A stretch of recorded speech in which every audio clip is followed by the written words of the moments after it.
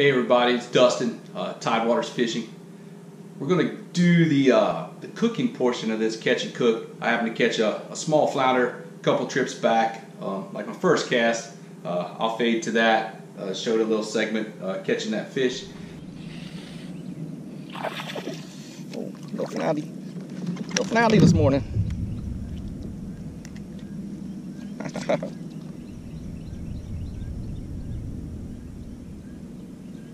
Floundy. Little 14 inch flounder this morning, right off the bat. How about that? There might be some on this bank. All right. We're to take that flounder and we're to do a, a shrimp and crab meat stuffed flounder. And I'm to do a little a tasso and shrimp cream sauce, kind of like a, a Cajun, like a Creole cream sauce to go over the top of that once we get done baking that um, flounder. So stick around and learn how to make this dish that I'm going to prepare for you right now. All right, we're going to get started on the, the stuffing part of this dish. Um, what I got here, I got some got some real fine diced red bell pepper, some fine diced green bell pepper, some chopped green onions, some chopped sweet onions. I have some lump crab meat and some uh, some chopped shrimp. It's about a half a cup of each of that. I'll, I'll put the recipe um, in down in the description of the video below. And uh, we're gonna get started. Get my pan hot, and then we're gonna get going on this.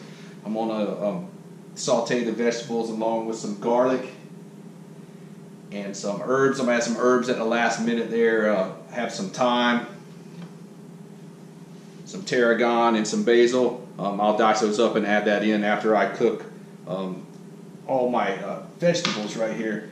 I'm gonna saute all these together and add the shrimp and crab, and then work in a in a mixing bowl to add the panko breadcrumbs, some egg, lemon, and some butter, and salt, cracked black pepper, and some different seasonings. Uh, we'll get going on that. We're going to move along to the saute pan, and we're going to get started on this uh, this preparation.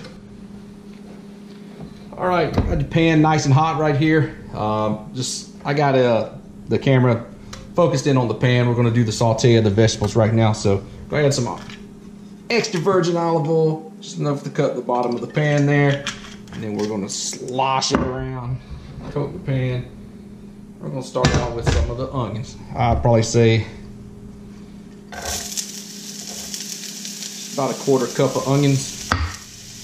Same thing, bell peppers, about a quarter cup there also. I'll have the recipe, green bell, red bell and green bell.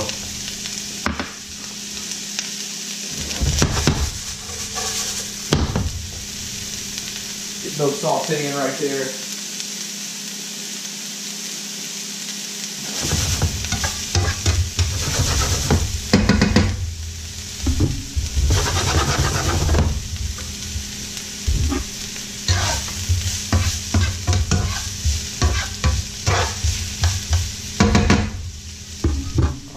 some uh, cracked black pepper, sea salt out, a little Cajun seasoning, like I like to use. You know I like this stuff right there.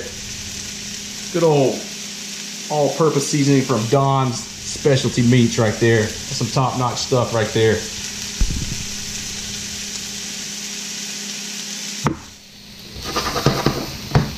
All right, I'm gonna hit this with a little salt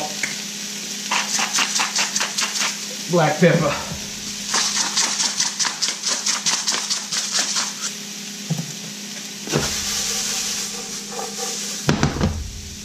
Starting to look good. I'm add a little green onion in there too. A little chopped garlic. Ooh. Work that around a little bit.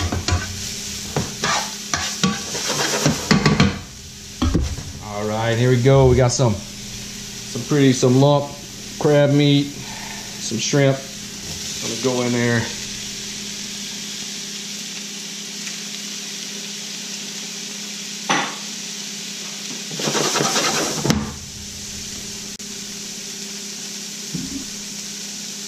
Gonna hit it with a little, little bit of that Don's, a little bit of that all-purpose Cajun seasoning right there.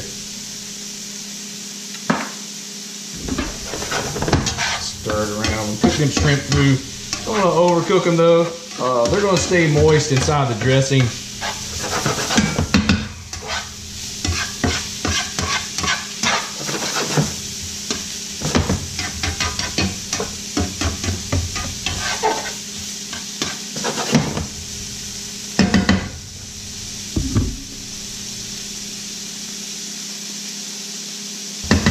And then once this is done sauteing, uh, we're gonna let it cool a little bit, and then we'll we'll fold it in with some breadcrumbs, some butter, lemon juice, some of the fresh herbs.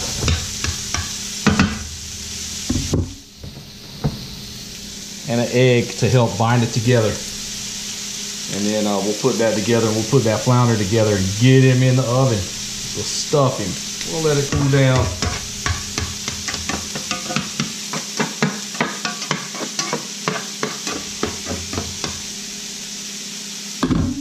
Gonna let that cool down, and then uh, we're gonna come back, put the stuffing together, and get the get the flounder stuffed, get that taken care of. All right, once we got that uh, shrimp and crab mixture with the veg cooled down a little bit, uh, we're gonna add some some panko breadcrumbs. Not too much. You don't want to get it too uh, too much breading, but you know, half a cup or so. Just enough to, to bind it together. We got an egg that we have mixed up. Add a little water to it.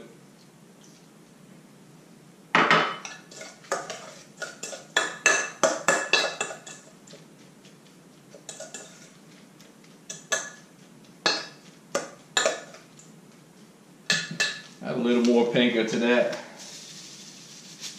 A little over half a cup probably in there. Good thing about when being a chef, you don't really measure anything. You go by kind of eyeball it, you know. Um, I'll get pretty close to what I'm doing uh, on the recipe down below for you guys. So, um, that's it. That's that crab mixture. The sauteed veg, garlic, seasoning, salt, pepper, and some of the Dons. Um, add a little melted butter in there. It's probably about uh, two tablespoons of melted butter right there.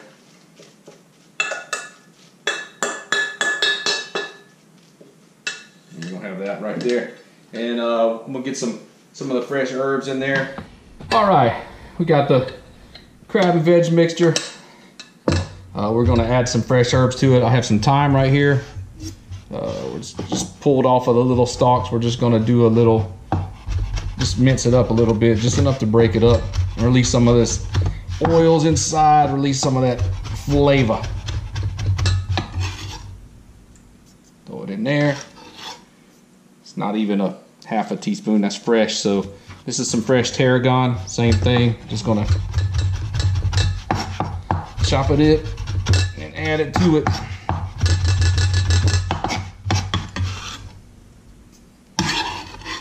All right, and then the basil. What you're gonna do, I just got two basil leaves, that'll be plenty. It's a little bigger one there. You uh, set them on top of one another and roll them up. And what cut this would be right here if you just left it in long ribbons would be a chiffonade. There's some of your uh, knife skills 101 right there. Don't cut with your fingers flat. Supposed to tuck them. But now from there, see that's just long ribbons. That's called a chiffonade cut. But we're just going to take that from there and just cut them into small little pieces.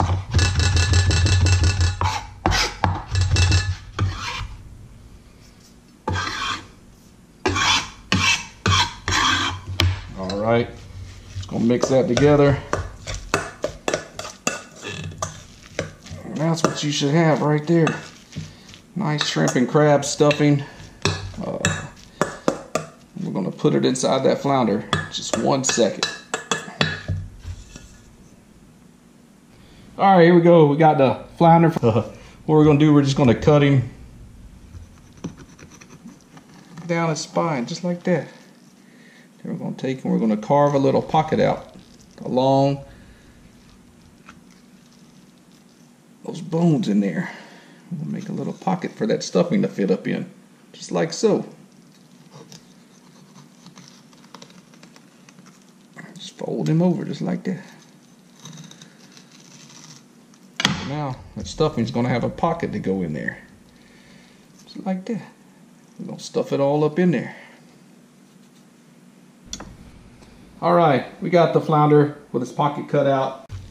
We're gonna put the fish on there, and we're gonna stuff that fish right now. We're gonna stuff that flounder. So gonna take the stuffing we have. So we're gonna, season the inside. We're gonna season that cavity a little bit. A little bit of Don's inside of there. A little bit. There you go. All right, then we're gonna start adding that stuffing inside. Just like that. Lay that up over there. We're gonna pack that in there.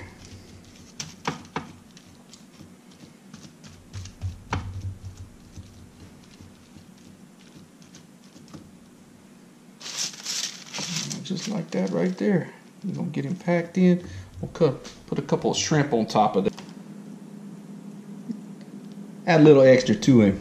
So let me get those shrimp and then we'll uh, get him ready to go in the oven. All right, got a couple of shrimp I'm gonna put on top. I'm gonna press them down into that stuffing like so. Then we're gonna take and we're gonna drizzle some uh, more butter all over him right there. Drizzle some butter. Look at that. Just plenty of butter on there. All right, then we're gonna add some juice up some lemons on there too. So the seeds get on there, it's all good. You're gonna move them away anyways whenever you go to take it out.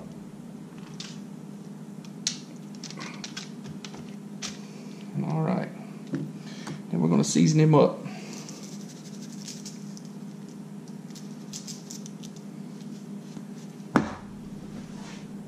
Black pepper on there.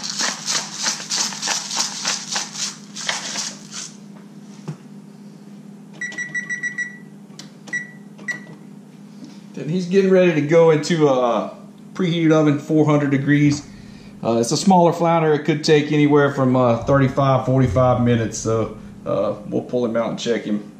Um, keep you updated on that. So um, we're gonna get him in the oven. Check him out. That's what it should look like right there. All right, there he is. Stuffed and ready to go. We're gonna move him into the oven and start baking.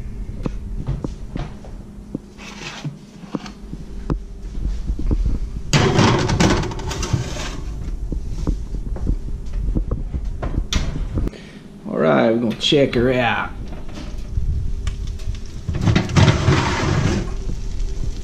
Oh yeah, it's starting to look good right there. About to start on that little Creole tasso shrimp sauce.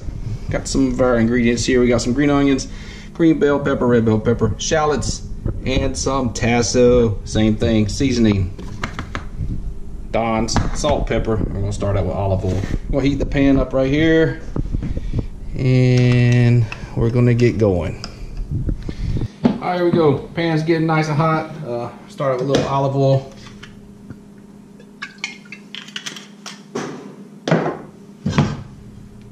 Mm, shallots in. Shallots. Red bell pepper a little bit. You know, you don't need much. It's only for one one portion right here. So uh, now it's probably a tablespoon. Same thing. Green bell pepper. It's enough to make a li- one little pan sauce. You know, it'll be all good.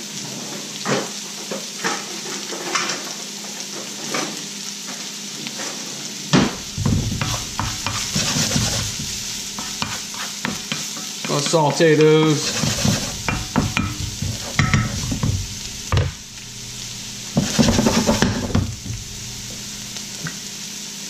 Add some Cajun tasso. That's uh, the Cajun spice smoked ham. I'm gonna add a little bit of that in there.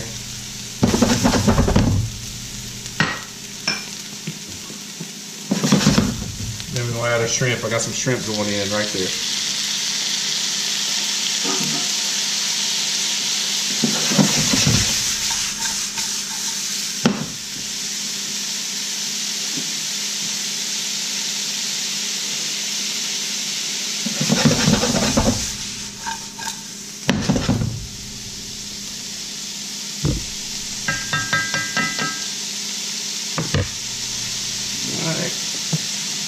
it with a little, just a little bit of salt. You know that that tasso's gonna have a little saltiness to it, anyways. So just a little bit of salt, cracked black pepper.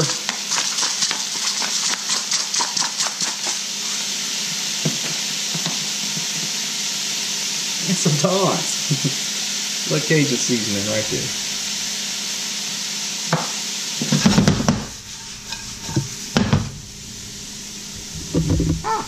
Run away.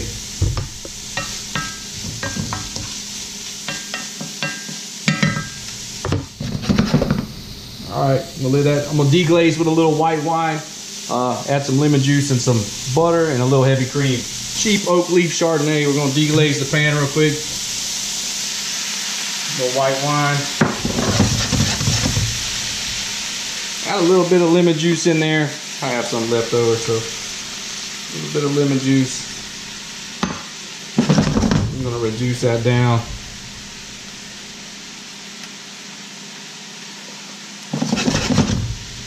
I'm gonna put a little bit of, have some butter to put in, um, probably a couple tablespoons full, probably two, two tablespoons on this. Turn that heat down, melt that butter slow.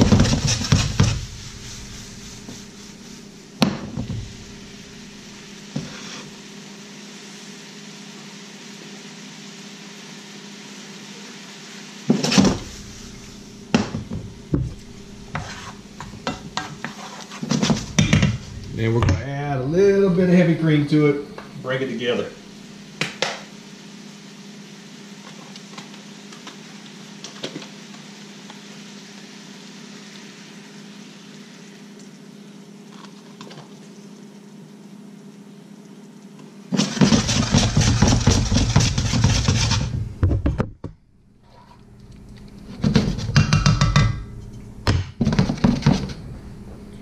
Bring that up to a simmer. And we're gonna pour that over the top of that flounder. Once it comes out of the oven, it's about to come out right now. We're gonna plate it up. We're gonna try it out. All right, I'm gonna make a little garnish. I'm gonna see if I can still do this stuff that I used to do back in the day. Let's see. Just gonna take and we're gonna punch this Punch this lemon, you're gonna alternate punching that lemon all the way into the middle with your point of the knife and make a little lemon crown. I don't know how many of these I used to make back in the day. A lot of them. Way back on St. Simon's Island, Georgia. Taking it old school right there. Prime rib night, steak and lobster. You had to do a ton of these things. See how it goes. Lemon crown, lemon crown. All right, we're gonna plate this flounder up. Uh, there he is, coming off the coming off the pan right there.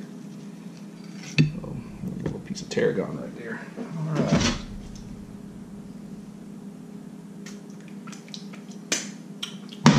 Tasso. Tasso shrimp sauce looking money, boy.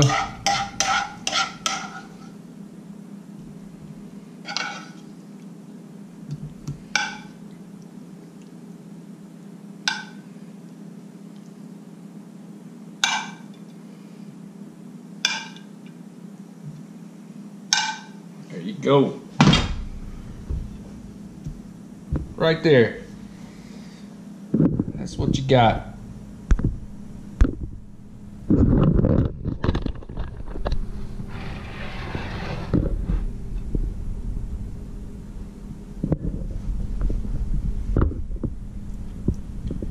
Shrimp and crab stuffed flounder with the Creole shrimp tasso cream sauce.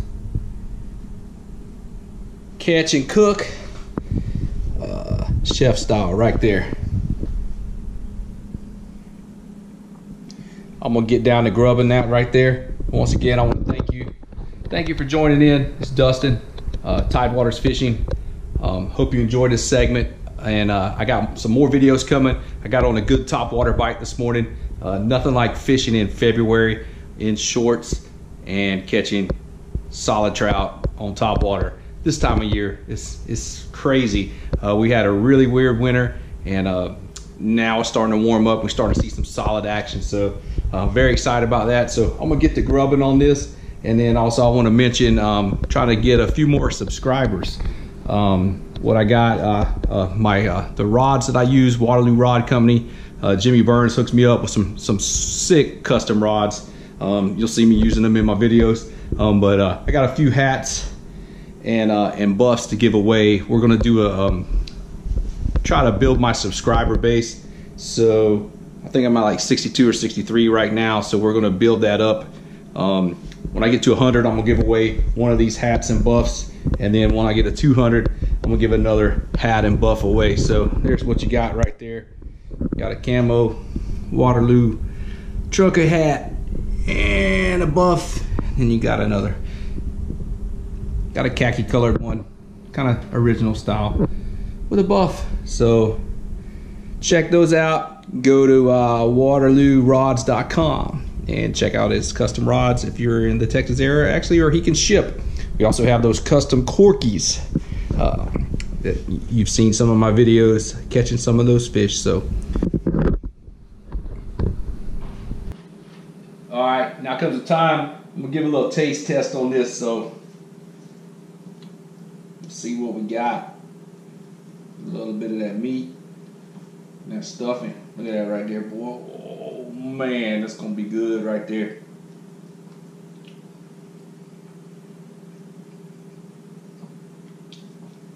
Man, you can't beat can't beat flounder. I mean, I love my my ahi. I love my tuna. Um, I love my snapper, making ceviche with that and different dishes with snapper. But man, fresh flounder is uh, really hard to beat. And then that that tasso gives a nice smoky flavor in that cream sauce with the shrimp. And then you got the crab stuffing, the fresh herbs, and your veg in there. So man, this is pretty good stuff right here.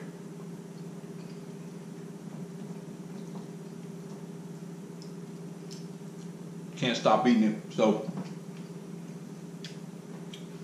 thank y'all for tuning in.